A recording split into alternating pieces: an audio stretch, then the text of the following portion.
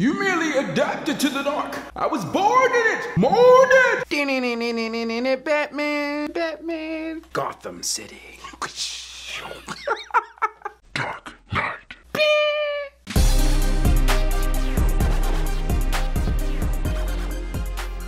Oh, hell a bit, it's your boy Big Beard B, and we back for another edition of Big Beard Business. In today's video, we're discussing Dark Knight. No, not Batman. We're talking about the inspired expression of Kilian's Black Phantom. So here's the deal. I received this one in the mail back in late January, early February, and I figured it's finally time to give you guys a full review. Now, just in case you aren't familiar with Kilian's Black Phantom, this one here was released in 2017, and my personal opinion, it was one of Kilian's best releases for 2017. Black Phantom have notes of rum, coffee, sugarcane, sandalwood, and vetiver, and it's stamped as official and solid in my book. But the real question here is how well did the people over at Alexandria Fragrances do at recreating Black Phantom in their expired expression? Dark Knight. I gotta say, Dark Knight. Like Black Phantom. That's the only way you can compare them. All right, man, so here's your presentation for Dark Knight, and it's pretty standard across the board with all Alexandria fragrances. This one is a 60 ml bottle, so if you're looking to pick one up, this is what you can expect. Now, like Black Phantom, Dark Knight is a spicy, sweet,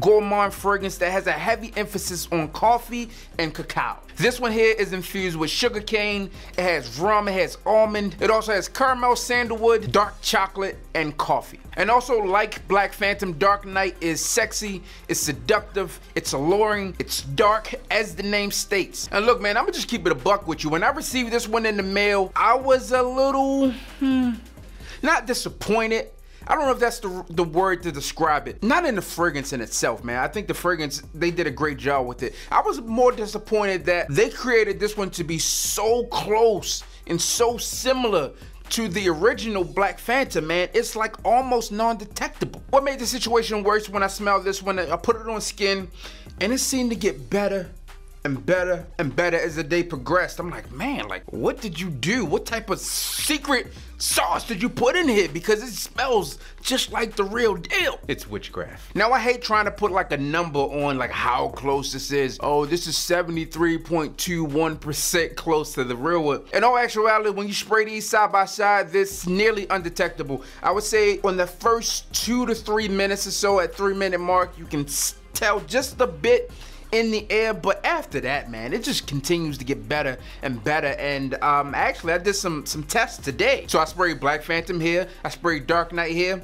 Did some test run and um wasn't able to tell which one is the real one. Actually they picked Dark Knight as the real one. Not only does it smell good, it performs good as well. You don't really need to spray too much on this one because as the day goes on, it becomes to get more powerful. It grows, it grows and grows and gets better. It's like, it, I don't know, it's like a raging monster, man. It just gets better over time. I mean, I guess a monster's not better over time. But this one gets better over time. So no need to overspray on this one. This one's going to last and project throughout the day. My personal suggestion with this one is I probably wouldn't go more than four sprays. I think four sprays might even be pushing it. You're probably gonna get about 12 hours plus on this fragrance. Again, as the day goes on, this one just becomes stronger, man. This is like power up. It's like when Mario, you know, walk around and he get the little, uh, the mushroom and he just, but he just gets bigger. Yeah, this is it. I mean, so just go four sprays with this one and then watch the compliments roll in. I mean, for someone who's into Kilian, I mean, like, really?